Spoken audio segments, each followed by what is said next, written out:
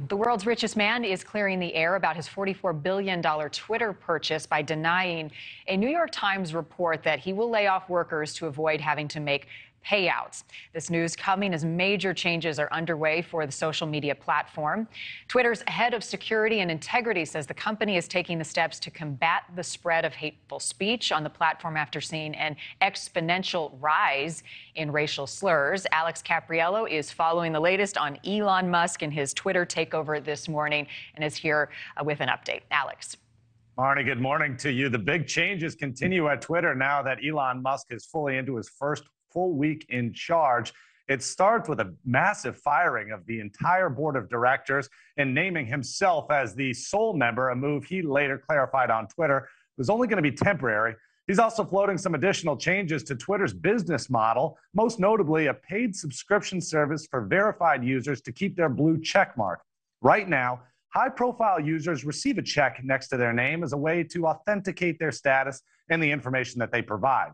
But new reports indicate Twitter may begin charging anywhere from 5 to 20 bucks in order to keep that status.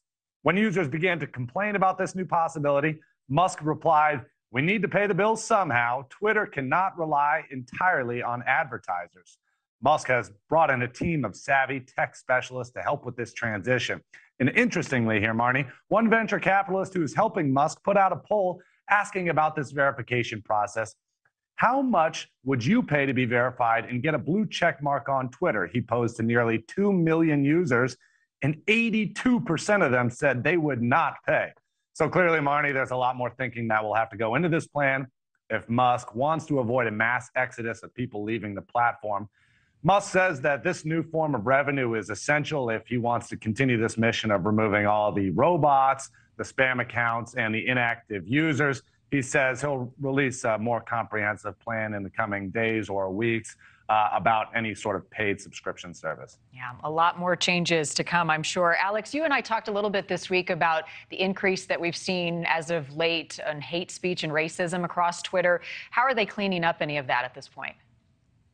Uh, well, actually, I looked full, through a full thread from Joel Roth. He's Twitter's head of security and safety, and he says that the company was able to eliminate about 1,500 accounts that were widely believed to be responsible for that massive surge in hate speech and racism. He said it wasn't necessarily 1,500 separate users, but just a few bad actors who had multiple accounts and who are making that sort of uh, divisive content trend.